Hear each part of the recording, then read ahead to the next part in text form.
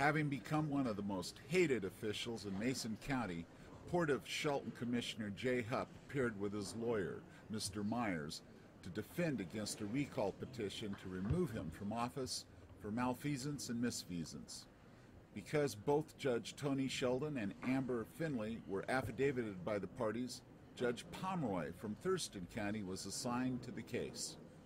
The course of the hearing, including recitations of the allegations and arguments, took approximately one hour and 45 minutes, with one recess. Local residents, having become outraged with both their port and county commissioners for their arrogant, insulting behavior toward voters and the critical matters of the community's health, families, children, air and water quality, environment, and future, Adage LLC and Simpson Timber Company have come to embody a hostile takeover of Mason County in the residents' minds. Those politicians who have aligned themselves with these rapacious corporations are the object of citizen contempt, along with desperate efforts to remove them from office, motivated by self defense and preservation. The recall petition itself was an ad hoc affair thrown together by residents willing to do whatever it takes to protect their families and children in the face of wealthy corporate opponents controlling vast sums of money, as well as big name politicians such as Tim Sheldon, Governor Gregoire, Lieutenant Governor Brad Owens, Norm Dicks, and Senator Patty Murray. These officials, elected by the public in the belief they would protect citizen interests, have betrayed residents for the money and legal fiction that burning Northwest forests benefits the environment.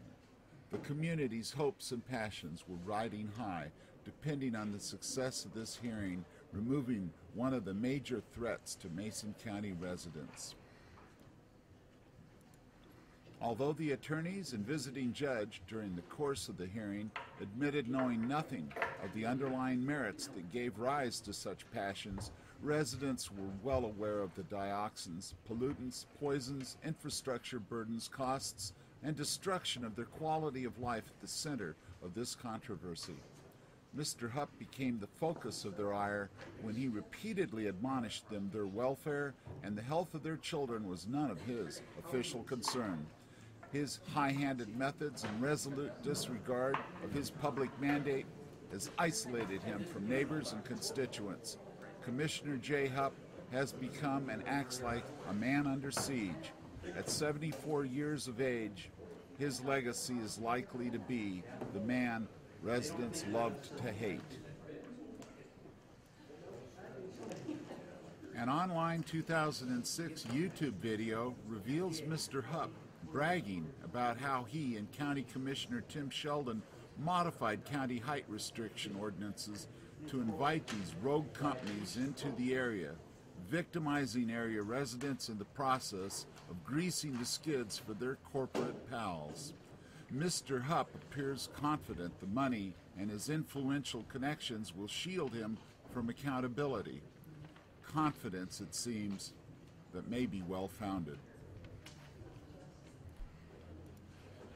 Take note of the legal arguments raised in this recall hearing as a blueprint to what is required for a successful effort to remove such dangerous elected officials from public office.